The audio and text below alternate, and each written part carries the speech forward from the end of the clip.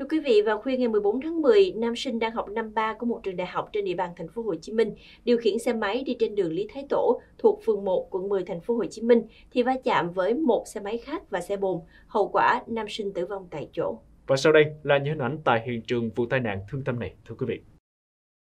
Vào khoảng 23 giờ 30 phút ngày 14 tháng 10, một nam thanh niên và một người nữ điều khiển hai xe máy chạy song song với nhau trên đường Lý Thế Tổ, quận 10 thành phố Hồ Chí Minh, hướng từ đường 3 tháng 2 đi ngã 6 Cộng Hòa.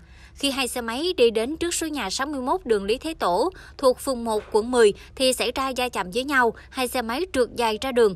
Lúc này xe bồn biển số 50H11417 đang lưu thông cùng chiều, phía sau chạy tới không xử lý, cán qua người nam thanh niên, làm người này tử vong tại chỗ, cô gái bị thương nhẹ.